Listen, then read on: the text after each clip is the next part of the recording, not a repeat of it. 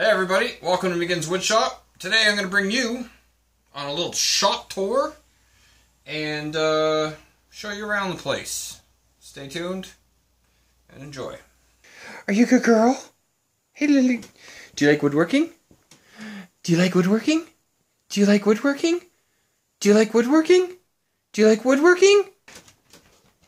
So she hangs out with me uh, at the shop all the time. She's always here under my feet and I gotta be really careful sometimes because she is so much in the way that I scared to hurt her sometimes. Okay, so to start off, I uh, got a little belt sander here. By little, I mean 6 inch belt and 9 inch disc sander from King Canada. Uh, it's served me well. I got it dirt cheap and I've cleaned it up to new, but the owner took care of it anyway, so it wasn't too hard to clean up and uh, that serves me real well. So as you can see, I just changed the belts, cleaned up the system or the, the machine, and everything's looking nice. I also have my King drill press. I have a lot of King tools. It's a good quality tool. I don't mind saying the name. I'm not affiliated with them in any way. I just because they're good quality and they last. So that's those are the ones I get. This here, uh, because of the air is so damp, um, my chuck was all rusted. Everything in that whole area was rusted. The bar was rusted. And, of course, the, the cast iron plate was rusted. And uh, cleaned it all up. So it's looking good, too. And uh, you can see uh, Mr. Carmichael's workshop here. He sent me a sticker. Thank you very much, Steve. I really appreciate that. I know it's been a while. I've been trying to catch up with these stickers. Also, the old General. That there is a beauty. Three quarter horsepower. One 100 inch blade on it. Let me open it up. Polyurethane um, belt, uh, what do you call them? Wheel, belts, wheel, rubbers, rubbers. I forget what they're called. Somebody correct me. I'll remember by the time I'm done this video. Uh, also, this one still has a layer of grease on it because I haven't sanded it and cleaned it up yet. Um, but I have greased everything and it is ready to be fully put back to use. I've also fully cleaned it. As you can see, there's really pretty much no dust in it. So that's looking good. As for stickers, let's see. We got ourselves Mr. Ferry sent me this sticker great guy, great content, love his channel, and uh, have the pleasure of hanging out with him quite often. Anyway, so he gets a sticker on the General, and also a Shoptime sticker, which I think I'll put more stickers down below in the bottom here, and uh, I'll have, you know what, I'll have a little quick sticker video after, and I'll put some stickers on. Also, just got this air compressor. Also had to clean it up completely. It was uh, another one of those Kijiji or you know Craigslist kind of thing finds. Five horsepower, 20 gallons, 80 bucks. Freaking great. Love great sales. Had to had to get it. Takes about a minute for it to fill up full pressure. Uh, the only thing about it is the gauge. It's a little bent, so it sticks. Um, so I gotta make sure I watch it and it doesn't auto turn off. Uh, so I'm going to have to take this cover off and adjust the pressures and get myself a new pressure gauge for this spot here. I took a pressure, gauge and the components off another older one that I had for this area, but I don't have one because of the size of the screw in the back here. So the wall to the right of it here, I have, this is all like drill bits um, for my like my uh, gun for screwdrivers and things like that. Miscellaneous things. I've got room in here for more stuff. I've just been doing a super organization lately. Also, here's all my, these things come on sale, these big packs. Uh, so these are all sanding discs for my angle grinder and different types of pads and, and things for the angle grinder. Um, and that's just for different various types of work with metal.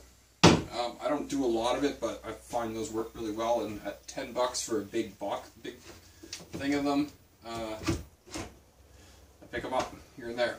I also got these. Uh, made this rack here for all my clamps. Uh, I get these at Princess Auto. They're like nothing. They're like three bucks. Uh, sometimes you go on sale even cheaper than that.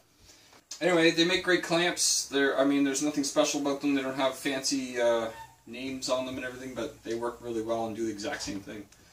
Also, the bar clamps. I got eight or ten of them. I have a bunch more downstairs, and I got them all for friggin' next to nothing, like 40 bucks. Something ridiculous. So I picked them all up at the same time, and wow, bar clamps are awesome. Love having them. So let's go ahead and move on over here, and I'll show you this corner. In this corner, uh, it's directly right again from my bar clamp rack. And this is basically a sharpening area. It holds my sandpaper. Um, I found this whole shelving unit. I found a lot of these shelving units in the garbage uh, on big garbage days when they throw out all those like, you know, people throw out their beds and throw out whatever those big things. That's when I get this stuff. That's my gold mine time for my wood shop. And then in this area is all my finishes. I also stored my router table. Um, it holds my router and all my bits. And I store that underneath here. I actually used to leave this on it because my wood shop leaks. And this has a rubber top and fabric bottom. And now that I'm thinking about it, I'm going to use this for my table saw. Uh, because this is now out of the way completely and won't get leaked on. Knock on wood. Then we move on over this way. So I'll give you a little close up here on my miter station. I built it for a single miter that I had. It wasn't a sliding miter, but then I found this puppy real cheap. So um, I'm I've modified this table to accept this beast right here. Now I have painted taken this apart and I've painted the guards and stuff. So I'm still in the process of putting this back together. That's why the safety guard isn't on it. But don't worry, it's unplugged. I got up top here where I hold my uh, miscellaneous saws and also my squares and some punch kits and things, just different miscellaneous things because I can. So next we'll move over to the cabinet. Next in line I have my outfeed table. This table here is built to be exactly the height of my table saw and slightly under. Um, and basically it's got wheels. I got a little clamp here for just doing different things and I use like cloth and things to keep uh, from marking my wood. Uh, I got my mallet stored right here. And a little, I just drilled a hole into the base of my little, I made a little till. Again, I used the very simple option of having a cloth curtain as a drawer. It just takes keeps the dust off things. Got my sandpaper. I have my four inch jointer down there. Um, that puppy there I got, it was all rusted and I've refinished it it needs a motor attached to it, which I have all set up. Um, but I really, I'm not sure. I don't know. I just don't use it. I also have a smaller belt sander here. My smaller one's for finer sanding, and my bigger one is for the low grits. Uh, I also keep like my um, hooks, S hooks or whatever you call them, uh, bench hooks on my in my drawer in my bottom shelf here. I got a bigger one. I got different size ones. I got different things with tracks on them, and that's all for mostly hand tool work and stuff.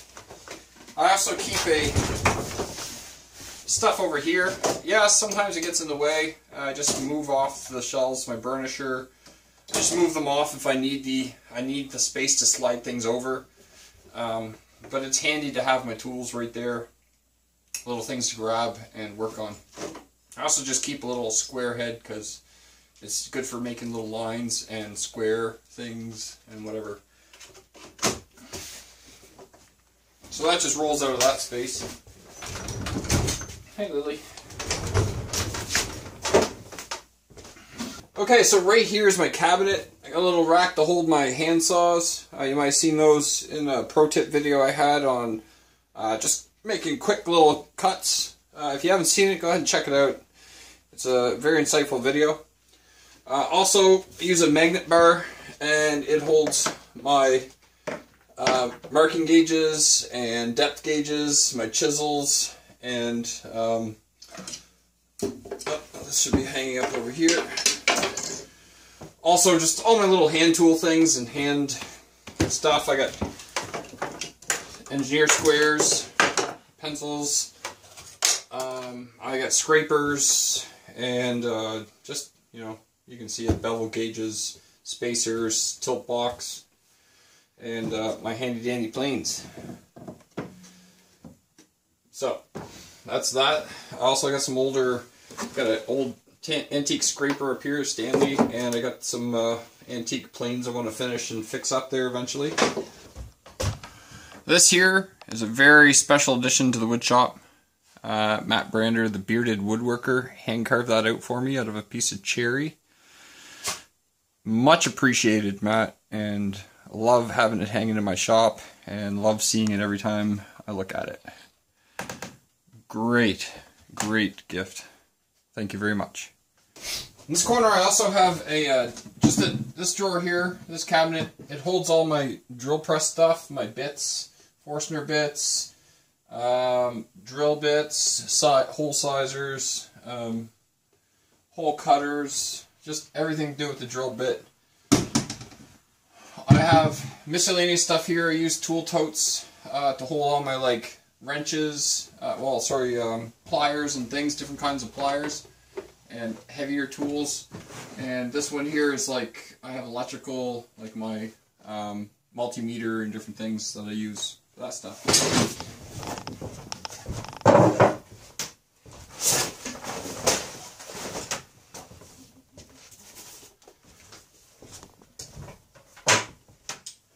Last but not, second last but not least, my table saw. I use my table saw sled so much uh, just wax up the bottom. It slides real nice now that it's full of wax. If you haven't made yourself one of these, go ahead and make yourself one because it is so useful. It's, I don't know how you live without it. I don't know how I would, anyway. On top of that, I tuck my table saw in at night. So says April Wilkerson. Um, the reason I do that is because the air around here is so moist. Ouch. Because I'm right on the ocean. Uh, that the cast iron just sucks out the water and rusts. Now, this time, let's take a look at what I've done. I feel like I'm getting better at it. Watched a few videos of people cleaning their table saws. Um, Drew Short did a really good video. So I took real, I took my time on this one.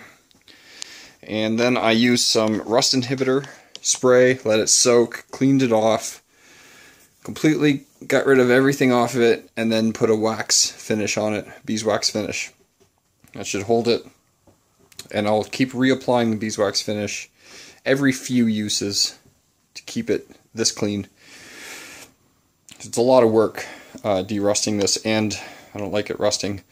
The problem is I have, um, I get leaks in the roof and it comes straight down and it's always in a different spot depending on the way the wind is. And not long ago I had a whole puddle right on top of my table saw. So, yeah, um, that's that. There's my lumber. There's my lumber. There's my lumber all up in the rafters here, my lumber. And there's a quick little glimpse of my wood shop. Oh, and that rack's all my extra wood and lumber and stuff. Trevor Carter gave me this for my wood shop. Nice guy. Love it. Thank you very much. Awesome. Great work, Trevor. Great work. Thank you. Oh, there's something else I got out of the garbage. That's a bed. That's a headboard for a bed and um, I just put a backing on it from some boards I got out of the garbage and then screwed it to the wall. There's my door to the outside. I have an outdoor wood shop where I process my lumber, my wood for the winter.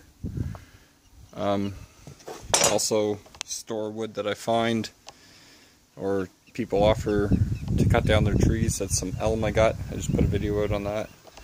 I gotta get them sealed, the end sealed on those. I got some more elm down there. You can see it. And a big lawn to cut. I've been burning a lot of the debris, so uh, I've cleaned up a lot there in the past bit. So here's my lathe area, and uh, a while back I was talking to Sterling Davis. He did a video on a nice lathe rack that he did. So I started making one, and geez, what was that, like four months ago? Anyway, I found that in the garbage, and my lathe tools fit in it perfectly.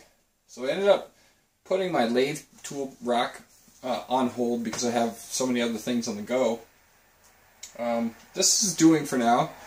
But I am looking forward to making that video, and if you haven't seen Sterling Davis' stuff, check him out. Uh, he does some really cool stuff, and really nice guy. Really nice guy.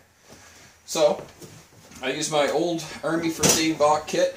Just hold some uh, spur heads, tail stuff, stock, extra belt, and uh, that's pretty much it that stays in there. Just little fine parts that I don't want to lose. So this here's my lathe. It's a 12 inch lathe. Uh, I've got 37 inch expansion between centers and uh, it runs real nice. Um, I've right now I've got a pen mandrel on it. I use it for a lot of things. Um, make mallets, I make pens, uh, all sorts of things. Very great tool. Love having it. I traded this for a um, radial arm saw that I had. Uh, I didn't like when I was just getting into it. I, I got the tape when I bought my table saw. The guy gave me radial arm saw with it for nothing, and I didn't like the radial arm saw. Just too scary. Not scary. Well, yes, intimidating. Uh, especially being new to woodworking. I didn't like the blade sliding back and forth, especially with my uneven floors. So I also wanted a lathe at the time, so I put on my Kijiji. I put that I was trading it and looking for a lathe, and luck had me. Somebody answered. So here it is. In this corner, I just have some bowl blanks, like some elm that I just cut up. Um, there's a big chunk of elm right here, and then some electrical stuff and things. Also, an old toolbox that I got out of the garbage again. And you can see this old desk is, is about 100 years old. Uh, that's holding my lathe. You see I got it protected with multiple layers of wood. Now the thing about this wood shop is it used to be a convenience store back in the early 1900s and that was the counter in which they sold things. So they had that in the other room along the back wall and they stood behind it and, and that was their cash drawers and that's this is what they used to sell stuff and I imagine do put work and things on it. I don't know what they I don't know what they did back then, but pretty cool. Very cool having a place that has history. It's uh, very awesome. Hi everybody, and welcome to back to blah, blah, blah, blah, blah.